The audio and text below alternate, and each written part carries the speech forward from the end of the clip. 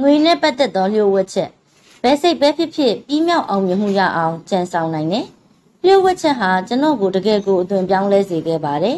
အကြောင်းကတော့ကျွန်တော်ဟာလူဘစာအဖေလက်ထဲမှာကြီးပြင်းခဲ့ရပြီးသူကပိုက်ဆံချမ်းသာတဲ့လူတွေဟာလူတိုင်းကိုအနိုင်ကျင့်ကောင်းပုံဖြတ်တယ်လို့ငွေရှိသူဘသူမဆိုကလင်ကကြစ်ကြတယ်လို့ယူဆခဲ့မိလို့ပါပဲဒီတော့ကျွန်တော်အနေနဲ့ငွေနဲ့ပတ်သက်လို့လွဲမှားတဲ့ယုံကြည်ချက်တွေထားရှိခဲ့မိတယ်ဆိုပါတော့ ငွေဟာလူကိုစိုးညစ်အောင်လုပ်တယ်မကောင်းဆိုးဝါရုပ်မာရက်ဆက်တဲ့လူတွေဒါငွေရှိကြတယ်ငွေဆိုတာအပင်ကတီးတာမဟုတ်ဘူးငါ့ကိုရော်ဖဲလာများမှတ်နေသလားဆိုတာကလည်းအဖေရဲ့လက်သုံးစကားတစ်ခွန်းပါဒီလိုနဲ့ဘဝဆိုတာခက်ခဲတယ်လို့တကယ်ကိုယုံကြည်ခဲ့တယ်နောက်ပိုင်းဆရာကြီး W Clement Stone နဲ့တွေ့တော့မှကျွန်တော်ဘဝစပြောင်းခဲ့ရတာပါကျွန်တော်ဆရာကြီးနဲ့တွဲလုပ်နေတော့မှသူကမင်းမှာရီမန်းချက်ပန်းတိုင်အကြီးကြီးထားရှိရမယ် ဒါမှမင်းစိတ်ကိုတွန်းအားပေးပြီးအောင်မြင်မှုရအောင်လုပ်ပေးမှာလို့ပြောခဲ့ပါတယ်အဲ့ဒီအချိန်ကကျွန်တော်မှတစ်နှစ်ကိုဒေါ်လာ8000ရနေရကအခုလိုပြန်ပြောမိတယ်ကျွန်တော်တစ်နှစ်ဒေါ်လာ3သိန်းလောက်လိုချင်တာဗျလို့အခုထိဘလို့ရအောင်လုပ်ရမှန်းမသိသေးဘူးမဟာဗျူဟာလည်းမမြင်ဘူးဖြစ်နိုင်ခြေလည်းမရှိသေးပါဘူးဒါပေမဲ့ကျွန်တော်မရအရရှာမယ်လို့တန်တိတ်ထန်ချလိုက်တယ်ယုံကြည်စိတ်တွင်းနဲ့အမှန်တကယ်ရလာတဲ့ပုံစံမျိုးတွာလာနေထိုင်နေ ဒါကြောင့်လဲဒေါ်လာသသိန်းရလိုက်ပါတယ်နောက်သူတင်ပေးတဲ့ပညာတစ်ခုက နေတိုင်းမျက်စိမိတ်ပြီးကိုလိုချင်တဲ့ရည်မှန်းချက်တွေတကယ်ရနေပြီလို့အာယုံခံတာပါပဲဒီလိုနဲ့ဒေါ်လာသသိန်းနဲ့ငွေစက်ကူတရွက်ကိုခါမိုးမျက်နှာချက်မှာစိတ်မှန်းနဲ့ချိတ်ဆွဲထားလိုက်တယ်မနဲ့အိယာကထလို့ပထမဆုံးမောကြည့်လိုက်တော့ငွေစက်ကူကိုတန်းမြင်ရတယ်ငွေစက်ကူလေးကငါမင်းရဲ့ရည်မှန်းချက်ပဲလို့သတိပေးတယ်အဲ့ဒီနောက်မျက်စိမှိတ်ပြီး တစ်နှစ်ဒေါ်လာသသိန်းရတဲ့ဘဝမှာနေကြည့်တယ်စိတ်ဝင်စားမှုအပြည့်ရှိပေမဲ့တလားလောက်အတွင်းဘာမှထူးထူးခြားခြားဖြစ်မလာခဲ့ပါဘူးကြီးကျယ်တဲ့အကြံလဲတခုမှပေါ်မလာဘူးဘသူကမှပိုက်ဆံတွေလာပြီးပုံမပေးခဲ့ပါဘူးဒါပေမဲ့တလားကျော်တဲ့နောက်ဒေါ်လာသသိန်းရမယ့်အကြံခေါင်းထဲဝင်လာတယ်ကျွန်တော်မှရေးပြီးသားစာအုပ်တအုပ်ရှိနေတာနဲ့အမျှအခုလိုပြောမိတယ်ငါစာအုပ်ကို၄လတစ်ပတ်စာအုပ်၄သိန်းရောင်းရရင်တစ်နှစ်ကိုဒေါ်လာသသိန်းရပြီပေါ့ ကျွန်တော်မှစာအုပ်ကြီးလက်ထဲရှိနေရဲ့နဲ့ဒီလိုတစ်ခါမှမတွေးမိခဲ့ဘူး The Secret ရဲ့လျှို့ဝှက်ချက်တစ်ခုကထက်တန်တဲ့အတွေးတစ်ခုရပြီဆိုရင်ယုံယုံကြည်ကြည်နဲ့အကောင့်ထဲပေါ်ဖို့ပါပဲကျွန်တော်အနေနဲ့စာအုပ်ရည်၄သိန်းကိုဘလို့ရောင်းရမှန်းမသိသေးပါဘူးအဲ့ဒီနောက်စူပါမားကတ်ကြီးတစ်ခုမှာ National Enquirer မဂဇင်းကိုတွားတွေ့တယ်အဲ့ဒီဟာကိုအကြိမ်တွေထောင်တောင်းမကမြင်ခဲ့ပေမဲ့အမတ်တမဲ့ပဲရှိနေခဲ့တယ်အခုတော့ဘုံကနေကျွန်တော်ရှိကိုခုံထွက်လာသလိုပါပဲ အင်းစာဖတ်သူတွေငါစာအုပ်အကြောင်းသိရင်လူလေးသိန်းလောက်ကတွားဝယ်ကြမှာပဲလို့တွေးမိတယ်နောက်တစ်လခွဲလောက်အကြာတော့နယူးယောက်ကဟန်တာကောလိပ်မှာဆရာ600ကိုဟောပြောမိတဲ့အမျိုးသမီးတယောက်ကကျွန်တော်နားကပ်လာပြီးဆရာဟောတာအရန်ကောင်းတာပဲဆရာကိုကျမအင်တာဗျူးခြင်းနဲ့ကျမလိပ်စာကပ်ကလေးပေးပါရစေတဲ့ဒီအမျိုးသမီးက National Enquirer မှာဇလန်းတွေရေးနေတဲ့စာရေးတာတခုပဲလုပ်တဲ့တကယ်စာရေးဆရာမဖြစ်နေတယ် The Twilight Zone ဆိုတဲ့ဂမ်ဘီယာမဂဇင်းတဲကဇလန်းတစ်ပုဒ်လိုပဲမယုံနိုင်စရာအမခန်းကိစ္စတွေတကယ်ဖြစ်လာတာပဲပေါ့စာရေးဆရာမရေးပေးတဲ့ဆောင်းပါးထွက်လာသလိုကျွန်တော်တို့စာအုပ်လည်းရောင်းလိုက်ရပါတော့တယ်ကျွန်တော်ပြောချင်တဲ့အချက်ကကျွန်တော်ဘဝမှာအဲ့ဒီစာရေးဆရာမအပါအဝင်တစ်မျိုးပြီးတစ်မျိုးကိုထူးထူးခြားခြားဆွဲဆောင်နိုင်ခဲ့တဲ့အဖြစ်ကိုပဲပေါ့ကျွန်တော်ဇလန်းကိုအတူချုပ်ပြောရရင်အဲ့ဒီနှစ်ကဒေါ်လာ3သိန်းတိတိတော့မရလိုက်ပါဘူးဒါပေမဲ့ 92,300နဲ့28ဒေါ်လာရလိုက်တာပဲဒီအတွက်လိုတလောက်အပြည့်မရဘူးဆိုပြီးကျွန်တော်တို့စိတ်ပြက်သွားမယ်ထင်သလားအမလီဝမ်းတာရလွန်းလို့ထတောင်ကမိကြပါသေးတယ်ပြီးတော့ကျွန်တော်မိမကဒီနီးနဲ့ဒေါ်လာ3သိန်းရအောင်လုပ်နိုင်ပြီဆိုရင်နောက်တစ်ခါဒေါ်လာ3သိန်းရအောင်မလုပ်နိုင်ဘူးလားလို့ပြောတယ်ကျွန်တော်ကလည်းငါမတည်ဘူးကွရအောင်လုပ်နိုင်မယ်လို့တော့ထင်တယ်စမ်းကြည့်တာပေါ့ကျွန်တော်စာအုပ်ထုတ်ဝေသူကကျွန်တော်တို့ရဲ့ Chicken Soup for the Soul ပထမဆုံးစာအုပ်အတွက်မူပိုင်ခွင့်ချက်လက်မှတ်ရေးပေးတယ်။သူကတကယ့်ကိုပြုံးပြုံးလေးနဲ့လက်မှတ်ထိုးပေးတာပါ။အားကြောင့်ဆိုသူ့တသက်မှာလဲဒေါ်လာတသန်းလို့ချက်လက်မှတ်ရေးပေးရတာပထမဆုံးအကြိမ်ဖြစ်နေလို့ပါတယ်။ဒီတော့ကျွန်တော်ရဲ့ကိုယ်တွေ့အရာ The Secret ဟာတကယ်မှအလုပ်ဖြစ်ရလားလို့လက်တွေ့စမ်းသပ်ခဲ့မိတာဆိုရမယ်။လျှို့ဝှက်ချက်ဟာအစမ်းသက်ခံပါတယ်။လုံးဝကိုအလုပ်ဖြစ်ပါတယ်။အခုဆိုရင်ကျွန်တော်ဘဝမှာနေ့စဉ်နေ့တိုင်း လျှို့ဝှက်ချက်ကျင့်စဉ်တွေနဲ့နေနေမိတော့တာပါပဲ The Secret ကရတဲ့ပညာနဲ့ညှို့ဆွဲအားနှိယာမကိုဘဝရဲ့အကြောင်းကိစ္စမျိုးစုံမှာရည်ရွယ်ချက်ပါပါအသုံးပြုနိုင်ပါတယ်။ကိုလိုချင်တဲ့ဘယ်အရာကိုမဆိုဒီနီးဒီဖြစ်စဉ်အတိုင်းတထက်သေးဖန်တီးနိုင်တယ်လို့ငွေနဲ့ပတ်သက်တဲ့ကိစ္စမှာလည်းကွဲပြားခြားနားမှုမရှိပါဘူး။ငွေကိုညှို့ဆွဲရမှာချမ်းသာကြွယ်ဝမှုအပေါ်အာရုံစူးစိုက်ထားရပါလိမ့်မယ်။ ကို့မှာငွေလုံလောက်အောင်မရတာတတိပြုမိတဲ့အခါမျိုးမှာကိုစီကိုငွေတွေတပုံကြီးပိုဝင်လာအောင်ဆွဲဆောင်ဖို့မဖြစ်နိုင်ပါဘူး။ဒါကလည်းကိုကငွေမရတဲ့အကြောင်းပဲစဉ်းစားနေလို့ဖြစ်ပါတယ်။ကို့မှာငွေကြေးဖူလုံလုံလောက်မှုမရှိတာပဲအာယုံပြုနေတာနဲ့အမျှငွေကလည်းဘယ်နည်းနဲ့မှဝင်လာမှာမဟုတ်ပါဘူး။တနည်းဆိုကို့မှာတက်ခံအားမကောင်းပဲငွေကိုမဖန်တီးနိုင်ဘူးပေါ့။ဒီတော့ငွေတုပ်ကြီးကိုအာယုံပြုပြီးကို့စီကိုအပါညှို့ဆွဲယူရမှာပါပဲ။ ရှင့်အနေနဲ့အတွေးတွေနဲ့အချက်ပြတင်ကိတအသက်တွေထုတ်လွှတ်ဖို့လိုသလိုအဲ့ဒီအတွေးတွေဟာလည်းလောလောလတ်လတ်ရှင့်မှာငွေတုံကြီးပိုက်မိနေတယ်လို့တွေးမိတာမျိုးဖြစ်တင်ပါတယ်။ရှင့်ရဲ့စိတ်ကူးစိတ်တန်းတွေအသက်ဝင်လှုပ်ရှားလာဖို့ခေါငင်ပြီးလိုချင်တဲ့ငွေတွေတကယ်ရလာပြီလို့ယုံကြည်ရပါမယ်။ဒီလိုလုပ်ရတာတိတ်ကိုပြောကြကောင်းပါတယ်။ဒီလိုကြွယ်ဝချမ်းသာပြီလို့ဟန်ဆောင်တန်းကစားတာဟာငွေနဲ့ပတ်သက်လို့ချက်ချင်းပဲပျော်ရွှင်ဝမ်းသာသွားရတာကိုတတိပြုမိပါလိမ့်မယ်။ ဒါဟာငွေတွေအစုလိုက်အပြုံလိုက်ဝင်လာအောင်လက်ကမ်းကြိုဆိုလိုက်ရကြသလိုတကယ်လဲငွေတွေစဝင်လာမှာပါဂျက်ကန်ဖီရဲ့ဇလန်းကကျမတို့ The Secret အုပ်စုကိုလျှို့ဝှက်ချက် website ဖြစ်တဲ့ www.thesecretplus.tv မှာချက်လက်မှတ်အလွတ်တွေကိုအခမဲ့ဖြန့်ဝေပေးတဲ့ဖန်တီးမှုဖြစ်အောင်လှုံ့ဆော်ပေးခဲ့ပါတယ်။ဒီချက်လက်မှတ်အလွတ်ကရှင်တို့အတွက်ဖြစ်ပြီးစစ်ကြဝဠာဘဏ်ကြီးကထုတ်လိုက်တာလို့ဆိုရမှာပါ။အဲ့ဒီချက်လက်မှတ်ထဲမှာနာမည်ငွေပမာဏ စသဖြင့်ပုံစံအရအသေးစိတ်ဖြစ်စွပြီးမြင်သာတဲ့နေရာမှာထားလို့နေ့တိုင်းပဲအာယုံပြုတ်ပြီးကြည့်ပေးပါဒီလိုကြည့်နေချိန်မှာအခုလက်ငင်းမဲ့အဲ့ဒီငွေတွေကိုရနေပြီလို့ကြည်နူးစွာခံစားပါဒီငွေတွေကိုသုံးပြီးကိုလိုချင်တာဝယ်တယ်လှုပ်ချင်တာတွေလှုပ်တယ်လို့စိတ်ကူးနဲ့မှန်းကြည့်ပါကိုတောင်းလိုက်လို့ရလိုက်တာလို့သိနေပါဒီလိုနဲ့ကျမတို့စီမှာ The Secret ချက်လက်မှတ်အစွမ်းနဲ့ငွေတွေတပုံကြီးတကယ်ရခဲ့တဲ့ဇလန်းတွေရချီပြီးရှိခဲ့ပါတယ်။ ဒါတကယ်အလုပ်ဖြစ်ပြီးပြောကြကောင်းတဲ့ကစားနည်းပါပဲအထုပ်ကြီးအထည်ကြီးကိုဆွဲဆောင်ခြင်းငွေမြောင်များမရတဲ့သူတွေဟာသူတို့ရဲ့အတွေးတွေကငွေဝင်မာကိုပိတ်ဆို့ထားတာကြောင့်ပါပဲစန့်ကျင်ဘက်အပြစ်သဘောဆောင်တဲ့အတွေးခံစားမှုစိတ်လှုပ်ရှားမှုတွေမှန်သမျှကောင်းတဲ့အရာမင်္ဂလာတွေကိုလမ်းပိတ်ထားရမှာငွေလဲပါဝင်သွားပါတယ်ဒီငွေတွေကိုစစ်ကြဝဠာကြီးကကိုယ့်စီကတင်သွားတာတော့မဟုတ်ပါဘူး ကိုလိုအပ်တဲ့ငွေပေဟာမမြင်ရတဲ့လောကမှာလောလောဆယ်ကိုရှိနေပြီးသားပါငွေတွေအပြည့်ဝမရတဲ့အကြောင်းကကိုကိုတိုင်ကငွေဝင်လန်းကိုရထားလိုက်တယ်လို့ကိုကထင်ရဆိုင်နေလို့ပဲဖြစ်ပါတယ်ငွေမရှိတာနဲ့ငွေတွေအလျံပဲရှိတာနဲ့ကြားမှာကို့အတွေးခေါ်တွေကိုချိန်ခွင်ရှာညှိပေးရပါလိမ့်မယ်ငွေနှဲချင်းရှိရင်တော့ပါပြီဆိုတာထက်ငွေတွေပုံအောပြီးဝင်လိုက်ရင်ထောပြီဆိုတဲ့အတွေးမျိုးကိုပို့တွေးရာကချိန်ညှိမှုကိုမြင့်တင်ပေးတင်ပါတယ်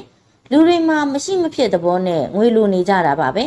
ငွေလိုတယ်ဆိုတာစွမ်းအားထက်မြက်တဲ့ခံစားချက်ဆန္ဒတရက်ဖြစ်ပြီးညှို့အားနိယာမကိုတုံးပြီးလိုတဲ့ငွေကိုအဆက်မပြတ်ဆွဲဆောင်နိုင်ပါတယ်ကျမရဲ့အတွေ့အကြုံအရငွေနဲ့ပတ်သက်တဲ့အကြောင်းတွေကိုလျှို့ဝှက်ချက်ကိုမတွေ့ခင်ကပဲအထိုက်အလျောက်သိနာလေခဲ့ပါတယ်နှစ်တစ်နှစ်မှာကျမရဲ့စည်ရင်းကင်တွေကကုမ္ပဏီမှာအဓိကဆုံးရှုံးမှုကြီးတစ်ခုနဲ့ရင်ဆိုင်ခဲ့ရပြီး ၃လအတွင်းမှာပျက်စီးကိန်းဆိုင်လို့ကြုံမကောင်းကြမကောင်းဖြစ်သွားနိုင်တယ်လို့လျှို့ဝှက်စကားပြောကြားတတိပေးခဲ့ပါတယ်။ဆယ်နှစ်လောက်အပြင်းထန်လုပ်ပြီးရပ်တည်ခဲ့ရတဲ့ကျမကုမ္ပဏီဟာလက်လွတ်ခွတ်ကျွတ်ဖြစ်တော့မယ်ပေါ့။အခြေအနေမဆိုးအောင်ကုမ္ပဏီကိုကယ်တင်ဖို့ကျမမှာငွေမြောက်အများလိုနေပါပြီ။အဲ့ဒီနောက် The Secret ကိုရှာဖွေတွေ့ရှိခဲ့ရာကကျမဘဝမှာအဆအအရာရာကုမ္ပဏီရဲ့အခြေအနေပြန်ထိန်းနိုင်တာအပါအဝင် လုံးဝပြောင်းလဲပြစ်နိုင်ခဲ့ပါတယ်။ ဒါကလည်းကျမရဲ့တွေးပုံတွေးနည်းတွေကိုပြောင်းလဲပစ်ခဲ့တာကြောင့်ပါပဲကျမရဲ့စည်ရင်ကင်တွေကကိန်းကနန်းတွေနဲ့နှပန်းလုံးပြီးချွေးပြန်နေချိန်မှာ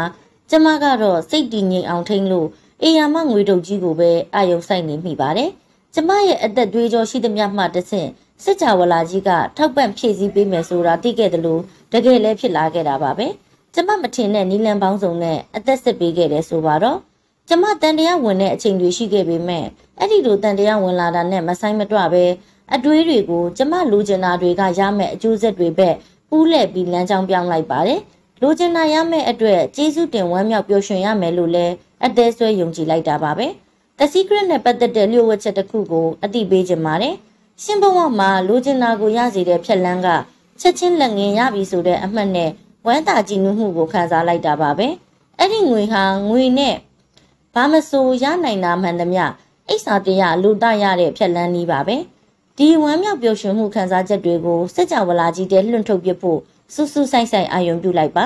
ဒီလိုလုပ်တာဟာကိုယ့်ကိုဝမ်းမြောက်ပျော်ရွှင်မှုပေးမဲ့အရာတွေကိုပြန်ပြီးညှို့ငင်ဆွဲဆောင်ရာရောက်ပါတယ်ငွေတုပ်ကြီးတာမကတခြားဥစ္စာတွေမှန်သမျှကိုရစီနိုင်တဲ့ပြင်စလက်မော်တကူလို့တောင်ခေါ်နိုင်တဲ့နီလန်ပါတကယ်မှလည်းကိုလိုချင်တာကိုပြန်ဆွဲငင်ဖို့အချက်ပြဆက်သွယ်ရေးလှိုင်းတွေထုတ်လွှတ်လိုက်တာပါ ကိုယ့်ရဲ့ပျော်ရွှင်မှုလှိုင်းတွေကိုထုတ်လွှတ်လိုက်ရာကသူတို့ကကိုလိုချင်တဲ့ရုပ်ပုံတွေနဲ့ဖြစ်ရက်တွေအတိုင်းပြန်ပို့ပေးခဲ့တာဆိုလဲမမှားပါဘူး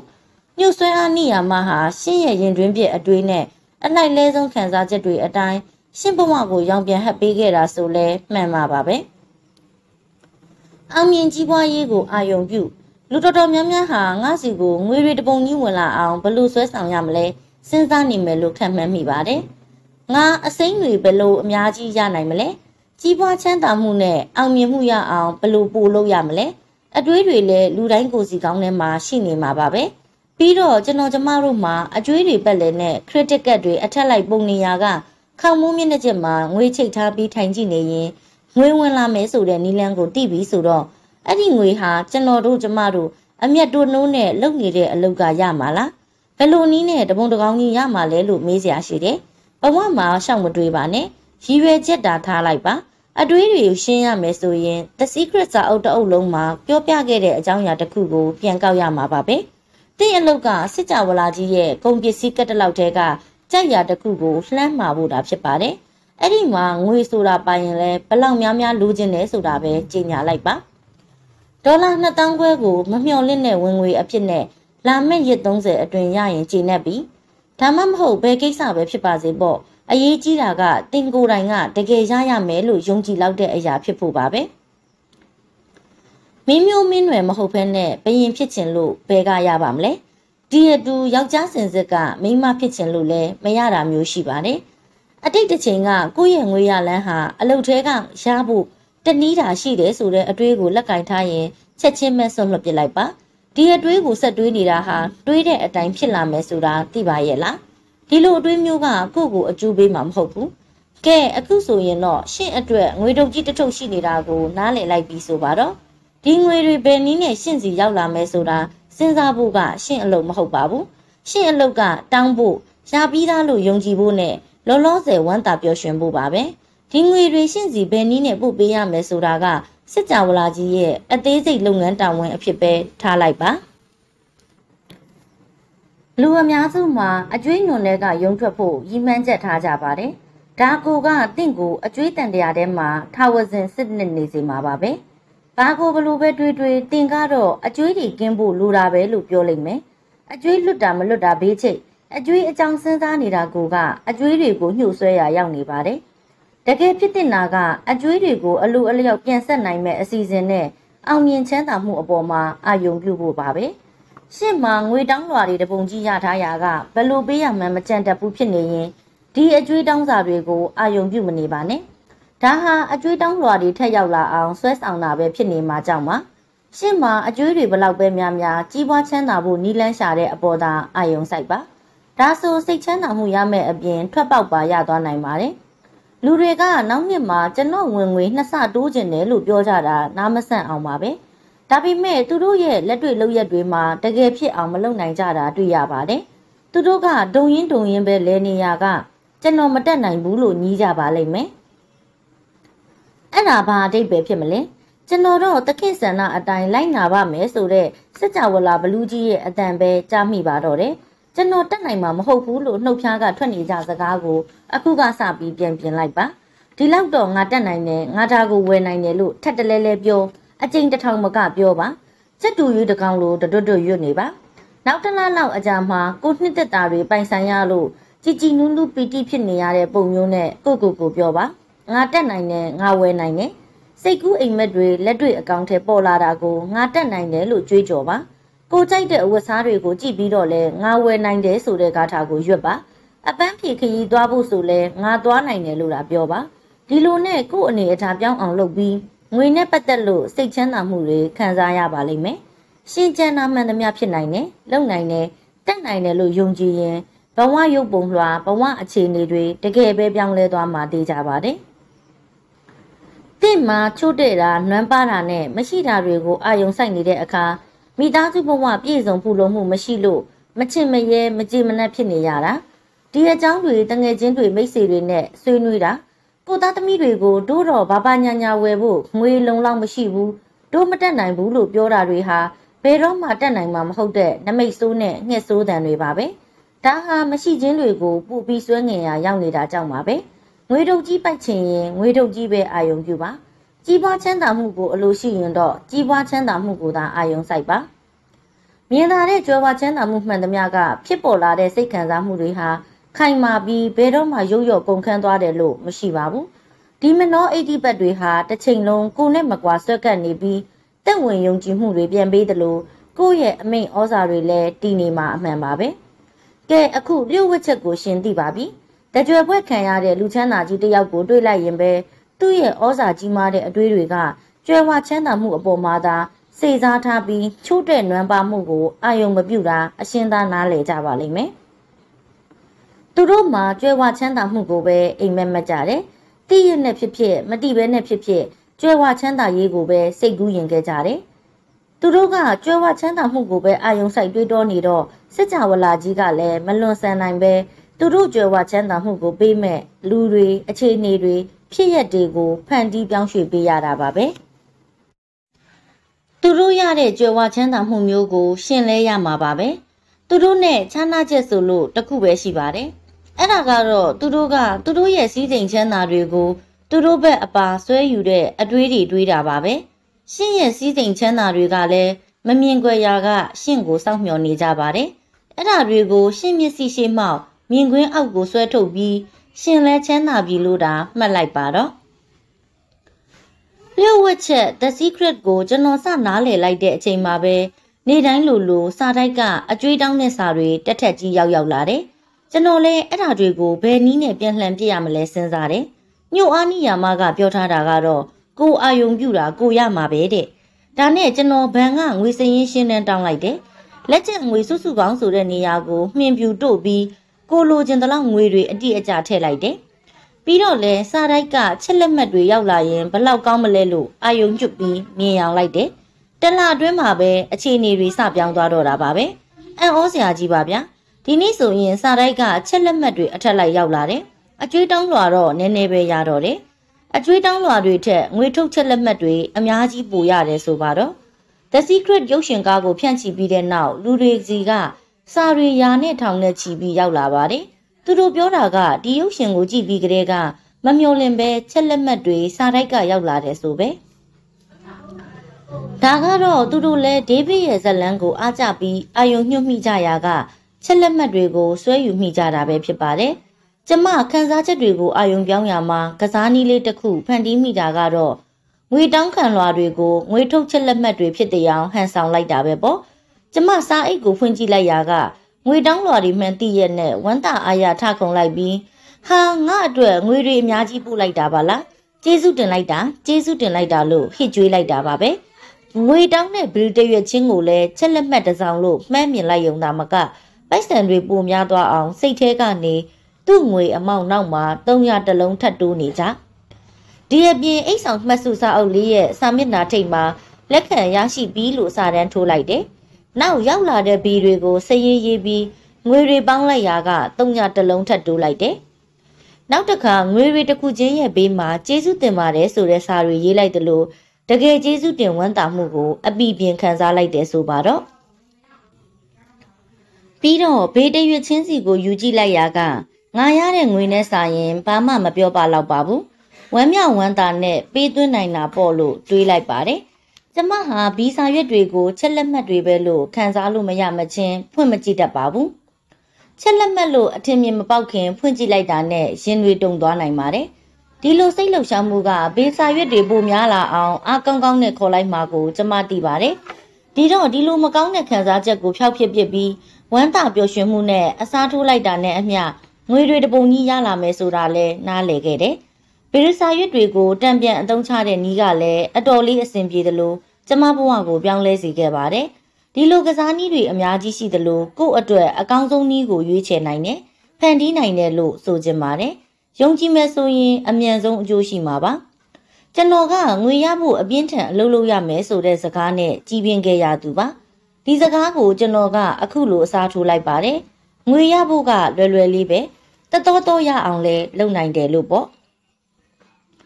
ဆဆချင်းတော့ဒါဟာမူသားသုံးတာပဲလို့ခံစားရမှာပဲလေတကယ်လဲဟုတ်ပါရဲ့ခမည်းကောင်းထဲမှာလဲအိုးမင်းကလူလိန်လူညာပဲငွေဆိုတာရှာရခက်တယ်ရဖို့မလွယ်ဘူးမဖြစ်နိုင်တာကြီးကိုဇွတ်မိတ်ပြောတာပဲလို့အတန်မြင်နေလိမ့်မယ်ဒါပေမဲ့တင်းနစ်ပွဲလေးတစ်ပွဲဟာအချိန်တန်ရင်အဖြေပေါ်သလိုကြာကြာမဆောင်လိုက်ရပဲပြီးသွားတာမျိုးပါရှင့်မှာငွေရဖို့အပင်ပန်းခံအလုပ်လုပ်နေရတယ်ငွေရဖို့တကယ်ခက်တာပဲဆိုတဲ့အတွေးခေါ်တွေပိုက်ထားရင်အမြန်ဆုံးစွန့်ပစ်လိုက်ပါ ဒီလိုအတွေးတွေတွေးခြင်းအပြင်အတွေးလိုင်းတွေကိုရုပ်တံလိုင်း frequency ပေါ်မှာထုတ်လွှတ်ရာရောက်တယ်လို့တင့်ဘဝပိတ်ကားပြင်မှာတရံသူအယုတ်တွေထင်လာပါလိမ့်မယ်ငွေဆိုတာရှာရလွယ်ပါတယ်ဝင်လာမစဲတဲတဲနဲ့ရအောင်လဲလုပ်နိုင်တယ်ဆိုတဲ့အတွေးတွေနဲ့အစားထိုးလိုက်ပါစီးစိမ်ချမ်းသာကိုဖန်တီးရမှာအခြေခံစိတ်ဓာတ်ကအရေးကြီးပါတယ်စီးစိမ်ချမ်းသာဆိုတာစိတ်ဓာတ်ခိုင်မာပြတ်သားမှုနဲ့ဆိုင်ပါတယ် အထူးသဖြင့်မိမိရဲ့တွေးပုံတွေးနည်းတွေအပေါ်မူတည်ပါတယ်ကျွန်တော်ရဲ့နီးပြတဲ့နန်းမှာလူတွေကိုဟောပြောပို့ချမှု80ရာခိုင်နှုန်းဟာစိတ်ဓာတ်ဗေဒနဲ့သူတို့ရဲ့တွေးပုံတွေးနည်းတွေအကြောင်းပဲဖြစ်ပါတယ်လူတွေပြောလိပြောထားရှိတဲ့ဟာမင်းလုံနိုင်ပေမဲ့ငါတော့မလုံနိုင်ဘူးဆိုတဲ့စကားကိုကြားရပေါင်းများလာပါပြီဒါပေမဲ့လူတွေငွေနဲ့ပတ်သက်လို့စိတ်အစွဲလန်းတွေနဲ့အပြောဆိုတွေကိုပြင်နိုင်စွမ်းရှိပါတယ် မင်္ဂလာသတင်းကတော့ကိုအခုရလိုက်တဲ့အသိပညာဟာတစ်ချိန်ကယုံကြည်ဆွဲလန်းဖို့သင်ခဲ့ရတာထက်အများကြီးအရေးကြီးတယ်လို့ဆုံးဖြတ်ချက်ချလိုက်နိုင်တဲ့အချိန်ဟာငွေတုံကြီးကိုလိုက်ရှာဖို့အချိန်ထိန်ဂီယာကိုပြောင်းထိုးလိုက်တာလို့ပဲဆိုရမယ်။အောင်မြင်မှုဟာကိုယ့်ကိုယ်တွင်းကထွက်လာတာဖြစ်ပြီးတခြားကလာတာမဟုတ်ပါဘူး။ကိုယ့်စီကိုငွေတွေတပုံကြီးဝင်လာအောင်ညှို့ယူနိုင်ရင်ပီတိဖြစ်ဖို့လိုပါတယ်။လူတွေငွေကြီးမပြည့်စုံရတာဟာသူတို့က ငွေကိုအကောင်းမမြင်ကြတဲ့အပေါ်အရင်ခံပါတယ်။ဒါပေမဲ့ဒီလိုဆန့်ကျင်ဘက်လုပ်ပြီးအပြစ်သဘောဆောင်တဲ့ခံစားမှုဟာဝင်လာမဲ့ငွေတွေကိုတောင်ပိတ်ပင်ပစ်လိုက်တာနဲ့မချပါဘူး။အယူမှားအစွဲမှားတဲ့တန်တရားကိုရက်ပစ်လိုက်ဖို့အတွက်ငွေနဲ့ပတ်သက်လို့မျက်နှိုးတံပိုးထားပြီးကြည်နူးဝမ်းသာခြင်းနဲ့အစားထိုးသလိုကိုရတဲ့အတွက်လည်းကျေးဇူးတင်နေရပါလိမ့်မယ်။ပီတိကိုခံစားရင်းနဲ့ငါမှငွေတွေရှမ်းနေပြီးငွေတုံကြီးငါးစီပြေးလာနေပြီ။ ငါဟာငွေတန်လိုက်ကြီးပဲငွေတွေငါချစ်တယ်။ငွေကလည်းငါ့ကိုချစ်တယ်။နေ့တိုင်းငါငွေတွေရနေတာကွ။ကျေးဇူးတင်လိုက်တာကျေးဇူးပဲ။အတိုင်းမသိကျေးဇူးပဲငွေရဖို့ငွေပေးလူပါပေးလူချင်းဟာကိုဘဝမှာငွေတွေပို့ပြီးပေါ်များလာအောင်စွမ်းအားအပြည့်နဲ့စွဲငင်တဲ့လုပ်ရက်တစ်ခုပါ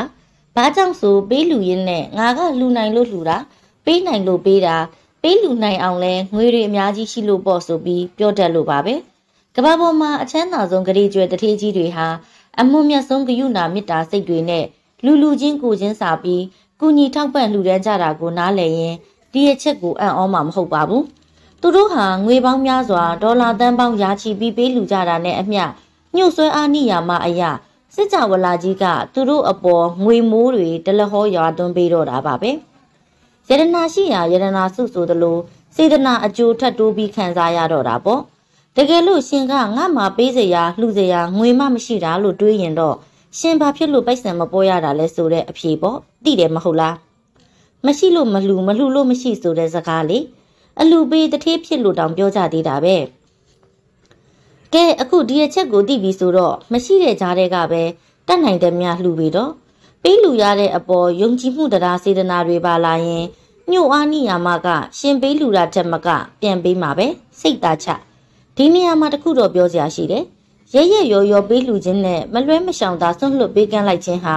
အကြီးအကျယ်ကွာခြားတယ်ဆိုတာပါပဲစိတ်ထဲကစေတနာပပပေးလူလိုက်တာက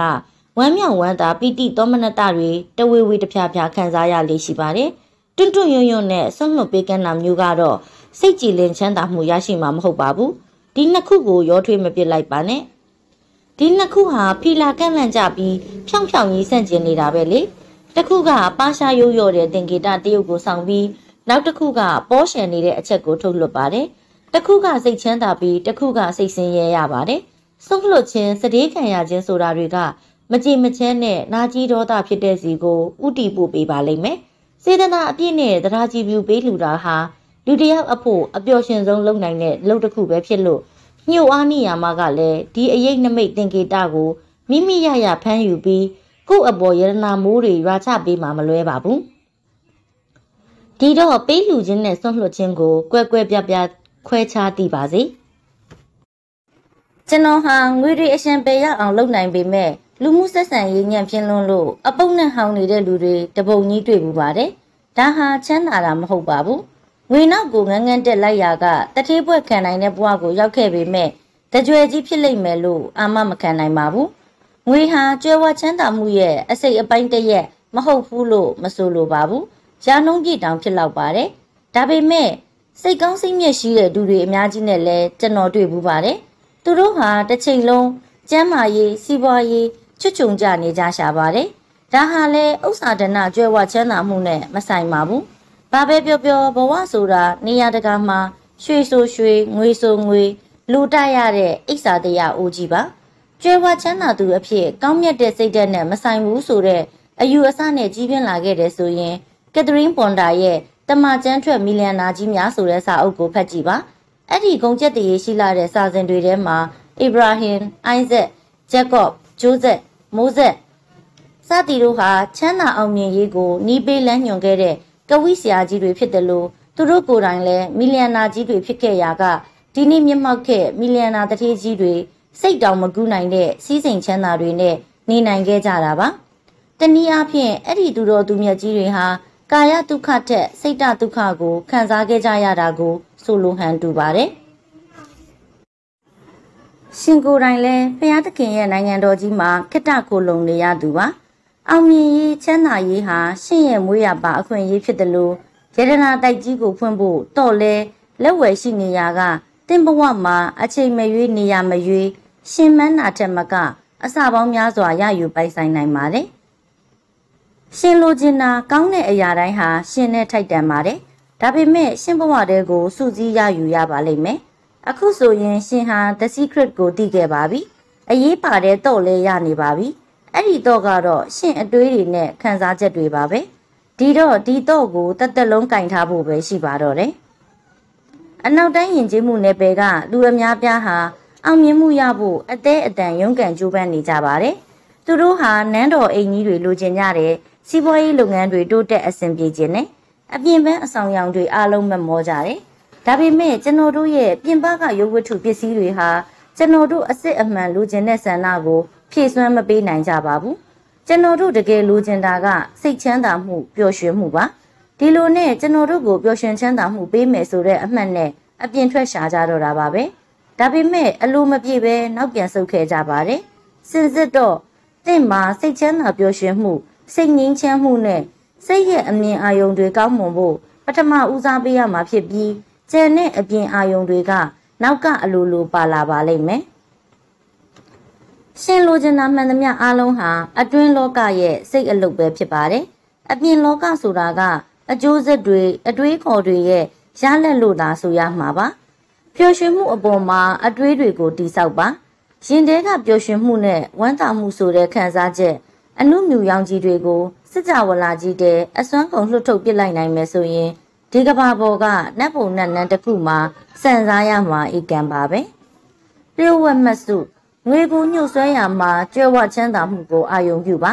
ငွေချုပ်တဲ့ရှားပါမှုအပေါ်အာယုံစိုက်မိရင်တော့ငွေတွေပုံအောဝင်လာအောင်ဆွဲဆောင်နိုင်မှာမဟုတ်ပါဘူး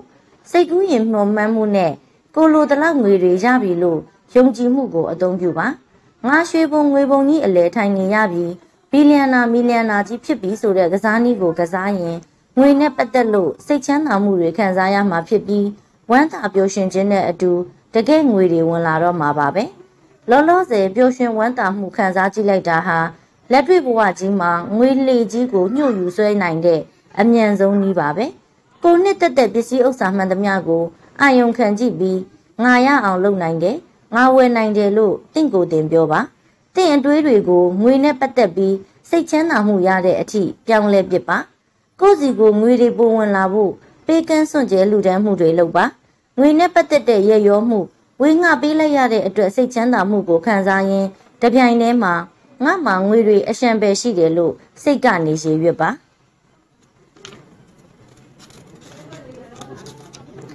စာတိုက်ကရောက်လာမဲ့ငွေထုတ်ချက်လက်မှတ်တွေကိုအာယုံနဲ့မြင်ကြည့်ပါကိုအတွေးတွေနဲ့ကြွယ်ဝချမ်းသာမှုကိုပက်ညီအောင်ချိန်ပေးပါကြွယ်ဝချမ်းသာမှုကိုပဲစဉ်းစားပါပေါင်းသင်းဆက်ဆံရေးဆိုင်ရာလျှို့ဝှက်ချက် The Secret ကဖွင့်ဆိုချက်အတိတ်ပဲအရာကျမတို့ဟာကျမတို့ရဲ့စစ်ကြဝဠာလောကကြီးရဲ့ဖန်ဆင်းရှင်တွေဖြစ်ကြသလိုကျမတို့ရဲ့လူရစန္ဒအလျောက်ဖန်ဆင်းမှုမှန်သမျှကျမတို့ဘဝမှာအထင်အရှားပေါ်ပေါက်လာမှာပါပဲဒါကြောင့်လဲကျမတို့ရဲ့ဆန္ဒအတွေးတွေနဲ့ခံစားချက်တွေဟာတကယ်ဖြစ်လာမှာဖြစ်တဲ့အတွက်အထူးရေးကြီးပါတယ်။တနေ့ကျမဟာနာမည်ကျော်ရုပ်ရှင်ထုတ်လုပ်သူအမှုပညာပိုင်းဆိုင်ရာပကြီးဒါရိုက်တာတယောက်အိမ်ကိုရောက်သွားမိပါတယ်။ အိမ်ရဲ့အခန်းတောက်မှန်သမျှမှာအင်မတန်လှပတဲ့အမျိုးသမီးတယောက်ရဲ့ဝက်လက်စလက်ပုံကိုစားပဝါမျက်နှာဖုံးတက်ပြီးချထားတာကိုတွေ့ရပါတယ်။သူကမျက်နှာကိုဝက်ကွယ်ထားရာကကျမရှင့်ကိုမကြည့်ရဲဘူးလို့ပြောနေတဲ့ရောင်ရောင်ပေါ့။ဒါနဲ့ကျမကသူ့ကိုဧကန်နာတော့ရှင်ဟာအချစ်ရေးမှာကန်ခေခဲ့တယ်ထင်ပါရဲ့လို့ပြောမိတယ်။သူကလည်းခမည်းအကြမ်းမြင်များရနေသလားလို့ပြန်ဖြေပါတယ်။ဘယ်ကလာရရမှာလဲ။ရှင်မဲပြန်ကြည့် နေရခုနှစ်နေရတောင်ဒီအမျိုးသမီးတယောက်တည်းရဲ့အယုတ်ကြီးပဲဖြစ်နေတယ်လေ။သူကကျွန်တော်ကဒီလိုပုံစံမျိုးကိုကြိုက်တယ်။ကျွန်တော်ကိုယ်တိုင်ပကြီးဆွဲထားတာပဲ။ပိုဆိုးတာကကျွန်တော်အစွမ်းကုန်ချေမှုန်းဖန်တီးထားတဲ့လက်ရဖြစ်နေလို့ပဲပေါ့လို့ပြန်ဖြေတယ်။သူကတကယ်သားနာပြီးကြည်ကောင်းတဲ့လူဖြစ်တယ်လို့သူ့လုပ်ငန်းသဘောအရရုပ်ရှင်မင်းသမီးတွေဝိုင်းဝိုင်းလဲနေပေမဲ့အချစ်ဇက်လန်လေးတပုတ်တလေမှရှိခဲ့ပုံမပေါ်ပါဘူးဒီလိုနဲ့ကျမကရှင်းပါလို့ခြင်းတလဲလို့မေးတော့ သူကတပတ်မှာအမျိုးသမီး၃ယောက်လောက်ကိုချင်းတွေ့ကျင်ပါတဲ့။ Okay ဒါဆိုပကြီးဆွဲကောင်မလေး၃ယောက်နဲ့ရှင်တွဲနေတဲ့ပုံကိုပကြီးဆွဲပြီးရှင့်အတွင်ခန်းတဲကတောင်တိုင်းမှာချိတ်ထားလိုက်။၆လအကြာမှာသူနဲ့ကျမထပ်တွေ့တော့မင်းမိပြန်နေ။ဘလို့လဲချင့်ချေနေစွန်ရဲ့လား။သူကဟာဘာပြောကောင်းမလဲဗျာ။စွန်သမအကြီးကျယ်ပါပဲ။မိမတွေကကျွန်တော်နဲ့ဒိတ်လုတ်ချင်လာပါကြီးရဲ့ဆိုပြီးစခေါ်တာဗျ။ ကျွန်တော်အခုလိုအမျိုးသမီးတွေနဲ့စုံတွဲမခုတ်ရတာနှစ်ချီကြာနေပြီအခုမှဟန်ချလိုက်ပုံများတော့တပတ်မှ၃ယောက်တောင်ချင်းတွေ့ရတယ်သူတို့ချင်းတောင်ကျွန်တော်ကိုလူရတဲ့အထိပဲရှင်စန်းထတာပဲပေါ့လို့ကျမကပြောလိုက်တော့သူကကျွန်တော်အတီတကြနဲ့လက်ထက်ချင်ပြီဗျာတကယ်အချစ်ကိုလိုချင်ပြီတဲ့ကျမကလည်းကောင်းပြီဒါဆိုပကြီးနောက်တပုံဆွဲလိုက်ပေါ့လို့အကြံပေးလိုက်တယ်။သူကချစ်စရာကောင်းတဲ့ဘဝကျင်ပေါ်မာလေးပုံကိုဆွဲခဲ့တဲ့ နောက်တစ်နှစ်အကြာမှာမင်္ဂလာဆောင်လိုက်ရပြီးအပျော်ကြီးပျော်သွားတော့တာပါပဲ။ဒီအဖြစ်မှာသူကဆန္ဒတစ်ခုနောက်ကိုထုတ်ဖော်လိုက်လို့ဖြစ်ပါတယ်။သူကသူ့ဆန္ဒအတိုင်းအကောင့်ထဲပေါ်မလာနိုင်ဘူးထင်တာကြောင့်အထီးကျန်ဘဝမှာအောင်းနေရတာဖြစ်ပါတယ်။သူ့ရဲ့အပြင်ပယောဂဖြစ်တဲ့သူ့အိမ်ကလည်းသူ့ဆန္ဒကိုတစ်ချိန်လုံးဆန့်ကျင်နေခဲ့တာတကြောင်ပေါ့။ကဲဒီတော့ဒီပညာအကြောင်းကိုသိရင်အစမ်းစလုပ်ကြည့်ဖို့ပဲရှိပါတော့တယ်။မာရီတိုင်းမွန်းပြောပြတဲ့ဇလန်းအရာ လျှို့ဝှက်ချက်ရဲ့တင် जा ချက်တွေဟာဖုံးရွှေပညာမှာလည်းထင်ဟပ်နေကြောင်းပေါ်လွင်ထင်ရှားတဲ့တရုပ်ပြမှုတစ်ခုလို့ဆိုနိုင်ပါတယ်။ဒီဖြစ်ရက်ကကျမတို့ရဲ့အတွေးတွေကိုလက်တွေ့လှုပ်ရှားမှုနဲ့ပေါင်းလိုက်ရင်အစွမ်းထက်အားကောင်းသွားတာကိုပြဆိုတာပါပဲ။ဘယ်လို့ရမစို့အတွေးစိတ်တစ်ခုရဲ့ရှေ့ပြေးဥဆောင်မှုကိုခံရပါတယ်။အတွေးတွေကကျမတို့ပြောတဲ့စကားလုံးကျမတို့ခံစားတဲ့ခံစားချက်ကျမတို့ရဲ့လှုပ်ရှားမှုတွေကိုဖန်တီးတာပဲလေ လှုပ်ရှားမှုတွေထူးထူးခြားခြားစွမ်းအားထက်မြက်ရတာကလည်းအတွေးတွေအားကောင်းလို့ပါပဲလူတွေဟာသူတို့ရဲ့အတွင်းကြဆုံးအနက်ဆိုင်ဆုံးအတွေးတွေကိုကိုယ်တိုင်နားမလည်နိုင်ပေမဲ့လှုပ်ရှားမှုကိုကြည့်ပြီးဘာတွေတွေးနေတယ်ဆိုတာသိနိုင်ပါတယ်အခုရုပ်ရှင်ထုတ်လုပ်သူရဲ့ဇလန်းမှာသူ့ရဲ့ရင်ထဲကအနက်ဆိုင်ဆုံးအတွေးတွေဟာသူ့လုပ်ရက်တွေနဲ့ပတ်ဝန်းကျင်မှာထင်ဟပ်နေတာကိုတွေ့ရပါတယ်သူကသူ့ကိုပြစ်ပြေးသွားတဲ့အမျိုးသမီးတွေပုံကိုပကြည်ဆွဲထားတယ်။ သူ့ရဲ့အနှက်ဆိုင်ဆုံးအတွေ့ကဘာတွေလဲဆိုတာမြင်ပါရဲ့လား။သူ့နှုတ်ကအမျိုးသမီးတွေနဲ့ချင်းတွေ့ကျင်တယ်ဆိုပေမဲ့သူ့ရဲ့တကယ်အတွေ့တွေကသူ့ပကြည်ကားတွေမှာထင်ဟပ်မလာပါဘူး။သူ့ရဲ့အပြုတ်မှုတွေပြောင်းလဲဖို့တေချာစဉ်းစားရွေးချယ်ခြင်းကသူ့အတွက်ဘာလို့ခြင်းလဲဆိုတာကိုစူးစမ်းလေ့လာအကဲခတ်ဖို့အကြောင်းပေါ်လာတာပါ။လမ်းကြောင်းရွှေ့ပြောင်းလိုက်ယုံလေးနဲ့သူ့ဘဝကိုပုံဖော်ချေမှုန်းနိုင်စွမ်းရှိပြီးညှို့အားနိယာမကတဆင့်တကယ်ဖြစ်ပေါ်လာမှုကိုဖန်တီးခဲ့တာပဲ ကိုဖြစ်ချင်တာလိုချင်တာတခုကိုဆွဲဆောင်ရမှာကိုယ့်ရဲ့အပြုတ်မှုတွေကကိုယ့်ရဲ့ပြင်းပြတဲ့ဆန္ဒနဲ့မတွေ့ဖယ်ဖို့အရေးကြီးပါတယ်အံ့ဩစရာအကောင်းဆုံးတာရကတစ်ခုကို The Secret အဖွဲ့ဝင်ဆရာတဦးဖြစ်တဲ့ Mikey Dolly က Leveraging the Universe and Engaging the Magic စကြဝဠာကြီးကိုအရှိန်မြင့်ခြင်းနှင့်ပြင်စလစ်ဆန်ခြင်းကိုဆက်သွယ်ခြင်းဆိုတဲ့ဟောပြောချက်မှာတင်ပြထားတာတွေ့ရပါတယ်။ သူ့ဇက်လန်းကတော့အရေးအချင်းပြည့်ဘဝအဖို့မွန်တယောက်ကိုတန်တလိုချင်နေတဲ့အမျိုးသမီးတယောက်အကြောင်းပါပဲအဲ့ဒီအမျိုးသမီးဟာလှုပ်တဲ့လှုပ်ထိုက်သားတွေအကုန်လှုပ်ခဲ့ပါတယ်သူလိုချင်တဲ့အမျိုးသားဘယ်လိုအစင်းတရံရှိရမယ်ဘယ်လိုအရေးချင်းတွေနဲ့ပြည့်စုံရမယ်ဆိုပြီးမနှောအာယုံအမြင်နဲ့ပုံဖော်ကြည့်ထားပါတယ်ဒါပေမဲ့အချိန်မတန်ခင်အထိသူ့တို့သားရဲ့အရေးရောင်လေးတောင်ပေါ်မလာခဲ့ပါဘူးအဲ့ဒီနောက်တနေ့သူအိမ်ပြန်အရောက်မှာသူ့ကားကို ကားကူတောင်အလဲတက်တဲ့မှာထိုးသွင်းလိုက်ပါတယ်ထိုးချိန်မှာပဲသူ့ရဲ့အလုပ်တွေကသူ့လိုချင်တာနဲ့ဆန့်ကျင်တွေ့ပြီးနေတာကိုတတိပြုမိပြီးအံ့အားသင့်သွားပါတဲ့သူ့ကားကဂိုတောင်တက်တဲ့ဝင်းရက်ထားမှာတော့သူ့ယောက်ျားကရက်စရာနေရဘဲကြံပါတော့မလဲသူ့လောက်ချက်ကသူတောင်းထားတာရမယ်လို့မယုံကြည်ဘူးဆိုတာစစ်ကြောဝလာကြီးကိုအားနဲ့မှန်နဲ့ပြောရရောက်သွားတာပေါ့ဒါကြောင့်လေသူကဂိုတောင်ကိုကမန်းကရန်ရှင်းပြီးသူ့ကားကိုဘေးကက်ရက်လို့ သူ့ယောက်ျားကားရက်ဖို့နေရာချန်ထားပေးလိုက်တယ်အဲ့ဒီနောက်အိတ်ခမ်းထဲကသူ့ဝက်စားတွေနဲ့ပြည့်နေတဲ့ဗီဒီယိုကိုဖွင့်ပြီးသူ့ယောက်ျားသတို့သားလောင်းရဲ့အဝတ်စားတွေထည့်ဖို့နေရာလုပ်ပေးလိုက်တယ်ပြီးတော့ခါတိုင်းအိယာအလဲကောင်မှာအိတ်နေကြကသူ့ဘဝကျင်ပေါ်အိတ်ဖို့နေရာချန်ပြီးသူကဘေးကက်အိတ်လိုက်တယ်ဆိုပဲအဲ့ဒီအမျိုးသမီးကသူ့ဇက်လန်းကိုမိုက်ကီဒိုလီကိုညစာစားပွဲတစ်ခုမှာပြောခဲ့တာဖြစ်တယ်လို့သူ့ဘေးမှာလည်းသူ့စိတ်ကြိုက်ရွေးချယ်ထားတဲ့သတို့သားအမျိုးသားပါရှိနေပါပြီ သူကအာယုံပြုမျှော်မှန်းထားတဲ့လူကိုရဖို့အစွမ်းထက်မြက်တဲ့ပြင်ဆင်မှုတွေလှုပ်ဆောင်ခဲ့ရာကမကြခင်မှာပဲသူမျှော်မှန်းတဲ့အမျိုးသားကစိတ်စိတ်မြက်မြက်ရောက်လာပြီးပျော်ရွှင်စွာလက်ထပ်ခဲ့ကြတဲ့မြစ်တာဇက်လန်းလေးပေါ့နောက်တာတကတစ်ခုကတော့ The Secret ရုပ်ရှင်ကားရဲ့ထုတ်လုပ်မှုမန်နေဂျာဖြစ်တဲ့ကျမညီမကလင်ဒါရဲ့ကိုတွေးဇက်လန်းပါပဲသူကဩစတြေးလျမှာနေပြီးအလုပ်လုပ်နေသူပါအမေရိကန်ကိုပြောင်းလာပြီးကျမတို့ရုံးမှာဝင်လုပ်ချင်တယ်ဆိုပါတော့ ဂလင်ဒါကိုတိုင်းဖြို့ဝက်ချက်အကြောင်းကောင်းကောင်းသိထားပါတယ်ဒါနဲ့အမျှသူလိုချင်တာတွေကိုမြဝါထင်တင်သူ့ရှိအရောက်ယူနှင်နိုင်သူဖြစ်ပါတယ်ဒါပေမဲ့လရီအတော်ကြာတဲ့အထိသူခမညာဩစတြေးလျမှာပဲရှိနေတော့မှာဒီလိုနဲ့ဂလင်ဒါဟာသူ့အပြုတ်မှုတွေကိုပြင်ဆင်ခြင်းသုံးသက်ရာကသူဟာသူတောင်းတာတကယ်ဖြစ်လာရင်ဆိုတဲ့အတိုင်းမလုံးမိတာကို တွေ့သိလိုက်ပါတော့တယ်နောက်ပိုင်းမှာသူကမိတ်ဆွေအပေါင်းအသင်းတွေနဲ့အဆက်ဖြတ်လိုက်တယ် မလိုအပ်တော့တဲ့ပစ္စည်းတွေကိုစွန့်ပစ်တယ်သူခီးဆောင်တက်တာကိုထုတ်အဝတ်အစားအသုံးဆောင်တွေထည့်ပြီးအသင့်ပြင်ထားတယ်တလအတွင်းမှာပဲသူ US ကိုရောက်လာပြီးကျမတို့ရုံးခန်းမှာအလုပ်ဝင်လုပ်ရတော့တာပါပဲကိုတောင်းထားတဲ့အကြောင်းကိုပဲစဉ်းစားပါကိုယ့်ရဲ့အပြုတ်မှုတွေဟာကိုရဖို့မျှော်လင့်ထားတာနဲ့စီလျော်ရဲ့လားမပြတ်သုံးသက်ပါကိုတကယ်ပဲရနေတဲ့ပုံစံမျိုးပြုမှုပါတကယ်လို့အခုပဲရရင် လုံးမဲ့အတိုင်းအတိအကျလှုပ်ဆောင်ပြီးစွမ်းအားထက်မြက်တဲ့မျောလင့်ချက်ကို ရောင်ပြန်ဟက်မဲ့လှုပ်ရှားမှုတွေလုပ်ပါကိုယ့်ရဲ့ပြင်းပြတဲ့ဆန္ဒတွေကိုလက်ခံဖို့နေရာပေးပါဒါဆိုရင်မျောလင့်နေတယ်ဆိုတာစွမ်းအားအပြည့်နဲ့အချက်ပြတင်ကေတတွေပို့လိုက်တာပါပဲတင့်ကိုတင်အရင်အားဖြည့်ပါကိုရေးကူတာအရာအတွင်းကြကြပေါင်းတင်ဆက်ဆံရေးမှာအရေးကြီးတာကကိုယ့်ရဲ့လက်တွဲပေါ်မဟုတ်ပဲကိုကိုယ်တိုင်သာဖြစ်တယ်ကိုနဲ့အနီးကပ်ဆုံးအပေါင်းဖော်ဖြစ်တဲ့ကိုစိတ်နဲ့ကိုကိုကိုမလုံနိုင်ပဲ တခြားလူတယောက်ကိုအစဉ်အမြဲပျော်ရွှင်မှုရအောင်ဘယ်လိုလုပ်နိုင်ပါမလဲဒီနေရာမှာလဲညှို့အားနိယာမကပါလာပြန်ပါပြီညှို့အားနိယာမအပေါ်တကယ်ကိုရှင်းလင်းပြတ်သားတဲ့အမြင်ရှိဖို့လိုအပ်လာပါတယ်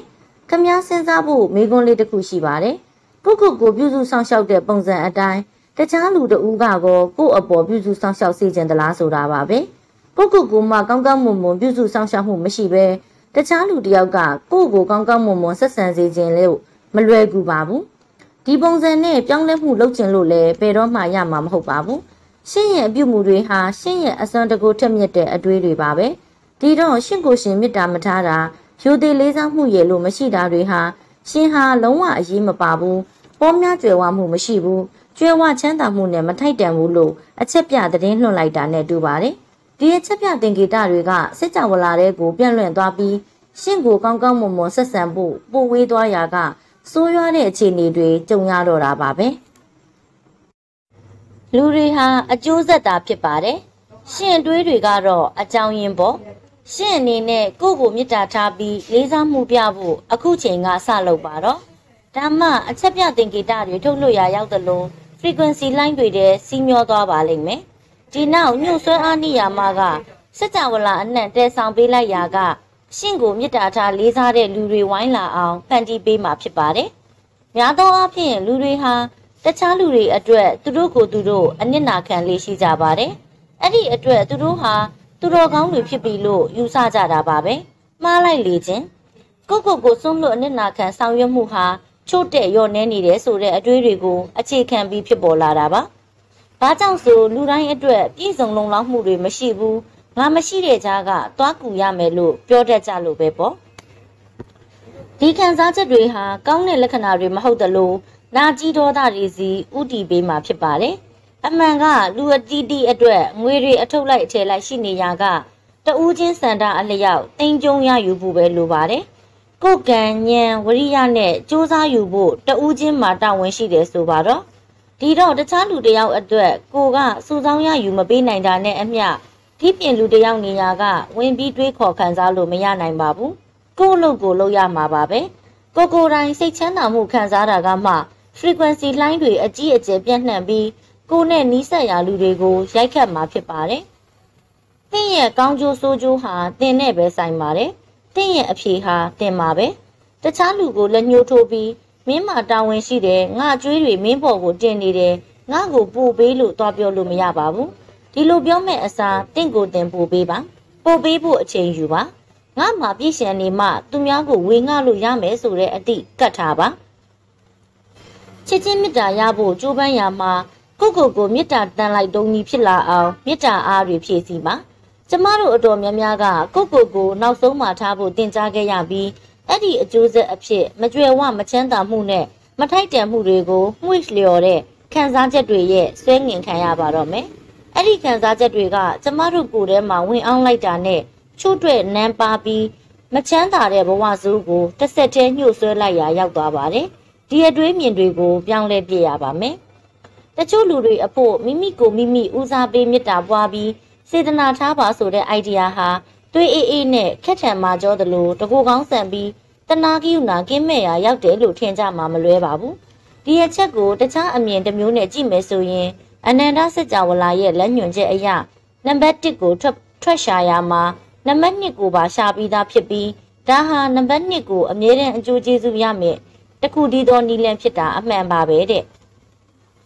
မိမိကိုမိမိအရင်ပထမပြည့်စုံအောင်မဖြည့်ဆည်းဘဲနဲ့တခြားလူတယောက်ကိုပေးเสียရဘာမှရှိမှာမဟုတ်ပါဘူး။ဒါကြောင့်ကိုကိုကိုဦးစားပေးဖို့အရေးကြီးပါတယ်။ကိုယ့်ရဲ့ပျော်ရွှင်မှုကိုပထမဆုံးအာရုံစိုက်ပါ။ လူတွေမှာကိုယ်တိုင်ပျော်ရွှင်မှုရယူဖို့လည်းတာဝန်ရှိပါတယ်။ကိုယ့်ရဲ့ပျော်ရွှင်မှုကိုအာရုံညှို့လို့စိတ်ချမ်းသာစရာတွေကိုဖန်တီးရဲ့အခါကိုယ့်ရဲ့ပျော်ရွှင်မှုဟာပတ်ဝန်းကျင်ကိုကြရဲရိုက်ပြန့်နှံ့သွားမှာဖြစ်ပြီးမိသားစုဝင်တွေတာသမီတွေနဲ့လူတိုင်းကိုတာရကတစ်ခုအဖြစ်ထွန်းထွန်းတောက်တောက်ပြသနိုင်ပါလိမ့်မယ်။ကိုပျော်ရွှင်မှုခံစားရပြီဆိုရင်ပေးလူဖို့အကြောင်းကိုအထွေအထူးစဉ်းစားဖို့တောင်မလိုတော့ပါဘူးဒါဟာတဘာဝအရာရှန်ကြလာတဲ့သဘောပါပဲ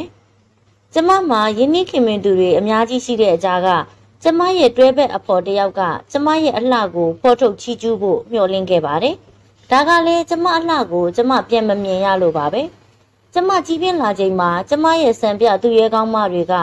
Bionic Woman, Wonder Woman နဲ့ချာလီရဲ့အင်ဂျယ်လေးတွေဖြစ်လာပါတယ်။သူတို့ဟာအန်အောငီးမောလောက်အောင်အစမ်းတကျလှပကြပေမဲ့ကျမနဲ့တော့မတူပါဘူး။ ကျမဟာလီဆာကိုပြန်တွေ့ပြီးမချစ်ခင်ထိတာဖြစ်ပါတယ်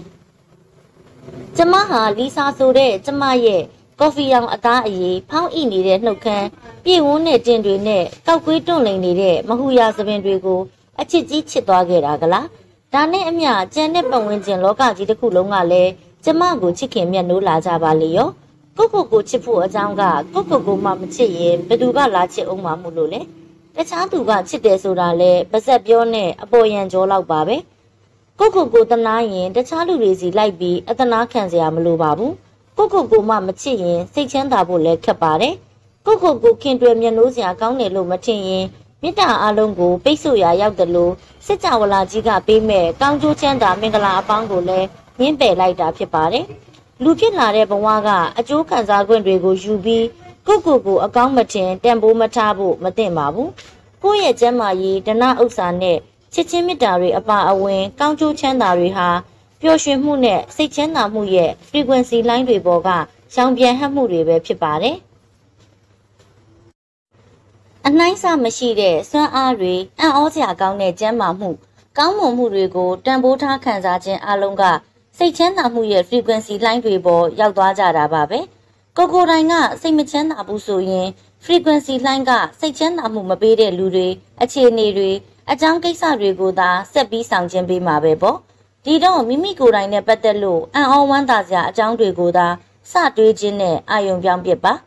ကိုကိုခန္ဓာကအကောင်းတွေကိုသာရှာကြံရှုမြင်ပါဒီလိုဆိုရင်ညှို့အားနိယာမကြီးကလည်းတင့်အတွက်ပိုပြီးကြီးကျယ်များပြားတဲ့ကောင်းကျိုးတွေကိုပေးလာပါလိမ့်မယ်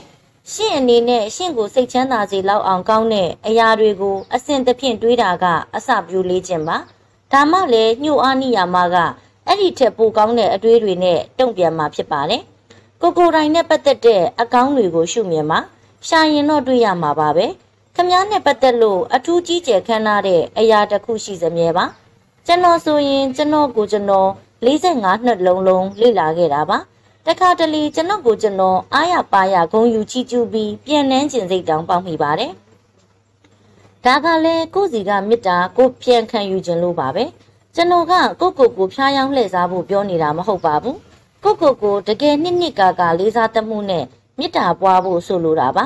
ကိုကိုကိုချစ်တယ်ဆိုရင်တခြားသူတွေကိုလည်းအလိုအလျောက်ချစ်လာမှတည်ကြပါတယ်ရင်းနှီးခင်မင်စွာပေါင်းသင်းဆက်ဆံမှုဆိုရမှာ ကျမတို့ကတခြားလူတွေအပေါ်သာအပြစ်တင်ဝေဖန်တတ်ကြတယ်ဥပမာကျမရဲ့လုပ်ဖော်ကိုင်ဘက်တွေကတိတ်ပြင်းတာပဲကျမယောက်ျားကတော့ကျမကိုအယူလုပ်နေပြီအိမ်ကကလေးတွေကအရန်ဆိုးတာဆုံးမရအတော်ခက်တယ်ဒီစကားတွေဟာတခြားလူတွေအပေါ်သာအယုံပြုနေတာဖြစ်ပါတယ်ဒါပေမဲ့မိသားစုအပေါင်းအသင်းမိတ်ဆွေတွေနဲ့ချစ်ကြည်ရင်းနှီးရေးမှာသူတို့ကိုအပုတ်ချဝေဖန်စရာတွေထက်တန်ဖိုးထားချီးကျူးလောက်တဲ့အကြောင်းတွေကိုသာအာယုံပြုသင့်ပါတယ်။ သူတို့ကိုအပြစ်ရှာနေသမျှတော့ဒီထက်များပြားတဲ့အပြစ်တွေပဲစုပုံလာတော့မှာပေါ့။ကိုနဲ့ဆွေမျိုးမိတ်တင်ကဟတွေအကြားမှာအခက်ခဲတွေ့နေတာမပြေလည်တာရှေ့ဆက်လက်တွဲလို့မရတာကိုကိုရန်ထောင်နေတာတွေရှိတဲ့တိုင်အောင်ပြန်ပြီးတင့်မြတ်အောင်လုပ်လို့ရပါသေးတယ်။စာရွက်လွတ်တရွက်ကိုယူပြီးနောက်ရက်30လုံးလုံးအဲ့ဒီနဲ့လူနဲ့ပတ်သက်လို့တန်ဖိုးထားချီးကျူးစရာထိုင်ရေးနေလိုက်ပါသူ့ကိုဘာကြောင့်ချစ်ရခင်ရတယ်လဲဆိုတာတွေတွေးပါ ရဲစရာပြောတတ်တဲ့သူတို့ရဲ့ဟာတညံတွေသူတို့ကကိုယ့်ကိုအကျိုးပြုတာကုညီပံ့ပိုးပေးခဲ့တာတွေအရေးထားပါသူတို့ရဲ့ဂုဏ်ရည်အချင်းတွေနဲ့သူတို့ရဲ့စွမ်းအားတွေကိုအာယုံစိုက်အတိမိတ်ပြုလိုက်ခြင်းအပြင်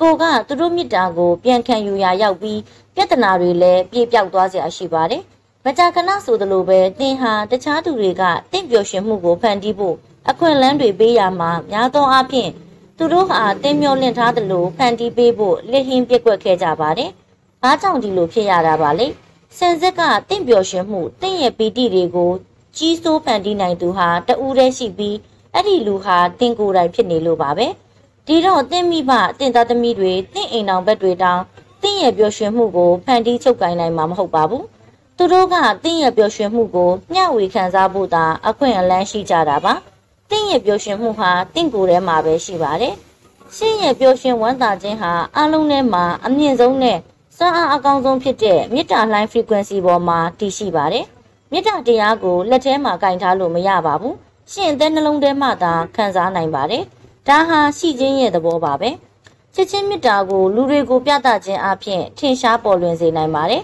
။ဒါပေမဲ့ချစ်ချင်းမေတ္တာဆိုတာခံစားချက်တစ်ခုပဲဖြစ်ပြီးတင့်စီကခံစားချက်အရသာ မေတ္တာရောင်ကြီးတွေလွတ်ထုတ်နိုင်မှာဖြစ်ပါတယ်။ရှင်တဲကမေတ္တာကိုနှိုးဆွနိုင်တဲ့တင့်စွမ်းရည်ဟာအကန့်အသတ်မရှိပါဘူး။တင်ကချစ်ပြီဆိုတာနဲ့စစ်ကြဝဠာကြီးနဲ့လုံးဝအပြည့်အဝတန်ဆင်ညှိတယ်လို့ဖြစ်သွားပါတယ်။တင်ချစ်မြတ်နိုးတဲ့အရာတွေနဲ့လူတွေအပေါ်မှာသာအာယုံညွှတ်ထားခြင်းအပြင်တင့်မှာချစ်ချင်းမေတ္တာနဲ့ပျော်ရွှင်မှုတွေတုံ့ပြန်ခံစားရပါလိမ့်မယ်။မေတ္တာဆိုတာအပေါင်းလက္ခဏာပဲပြပါတယ်။ညှို့အားနိယာမဟာတင့်ထံကိုပို့ပြီးချစ်စရာကောင်းတာတွေကိုပဲ ပြန်ပို့ပေးမှတေးကြပါတယ်။မေတ္တာတက်တွေထုတ်လွှတ်လိုက်တာဟာစစ်ကြောဝလာကြီးအနေနဲ့ရှင့်အတွက်အဆဆအရာရာလူလီသေးမရှိအောင်လှုပ်ဆောင်ပေးဖို့အကြောင်းဖန်လိုက်တာပါပဲ။သူကပြောစရာကောင်းတဲ့အရာမှန်သမျှနဲ့လူကောင်းသူကောင်းတို့ကိုတင့်ရှိမောက်အရောက်ပို့ဆောင်ပေးတော့မှာပါ။လောကသစ္စာဆိုတာဒါပါပဲ။လျှို့ဝှက်မှတ်စုခင်မင်းယဉ်နှီးမှုတစ်ခုကိုလိုချင်တယ်ဆိုရင် တင့်အတွေ့တင့်ပြောစကားတင့်အပြုမှုတွေနဲ့တင့်ပတ်ဝန်းကျင်ကိုတင့်ဆန္ဒနဲ့မဆန့်ကျင်ပါစေနဲ့တင့်အလုပ်ခွင်တင့်ပြစ်မှတ်ကတော့တင်ပါပဲတင့်ကိုတင်ပထမပြည့်ပြည့်ဝဝမဖြည့်စည်းပဲဘယ်သူကိုမှဘာမှပေးနိုင်မှာမဟုတ်ပါဘူးတင့်ကိုတင်မေတ္တာပွားပြီးလေးစားပါတဒါမှလည်းတင့်အပေါ်မေတ္တာထားပြီးလေးစားမဲ့လူတွေကိုဆွဲဆောင်ညှို့ငင်နိုင်ပါလိမ့်မယ် ကိုကိုကိုအစိုးမြင်ဘဝင်မကြရင်မေတ္တာထားဖို့ပိတ်ပင်ရာရောက်ပြီးကိုယ့်အပေါ်မေတ္တာရှိမဲ့လူတွေနဲ့အခြေအနေတွေကိုပူဆွဲဆောင်မဲ့အစားကိုယ့်အတွက်စိုးတစ်ထက်စိုးအောင်ဆက်ဖန်တီးပါလိမ့်မယ်မိမိကိုမိမိချစ်ခင်မြတ်နိုးတဲ့အရေးတွေးကိုအာယုံစိုက်ပါဒီအခါမှာညှို့အားနိယာမကလည်းအဲ့ဒီချက်ပို့ပြီးအမခန်းစွမ်းပကားကြီးမားများပြားတဲ့အရာတွေကိုထုတ်ဖော်ပြသပါလိမ့်မယ်ခင်မင်ရင်းနှီးမှုကိုဖန်တီးမယ်ဆိုရင် တခြားလူတွေနဲ့ပတ်သက်လို့တန်ဖိုးထားပြီးဂုံပြုချီးကျူးတိုက်တာတွေကိုအာယုံစိုက်ပါဝေဖန်ပြစ်တင်တာတွေကိုရှော့ချမိဖြောက်ပစ်လိုက်ပါသူတို့ရဲ့စွမ်းအားတွေအပေါ်အာယုံညှို့လိုက်ခြင်းဖြင့်အဲ့ဒီထက်မကအစာပေါင်းများစွာကိုပြန်ရမှာပဲဖြစ်ပါတယ်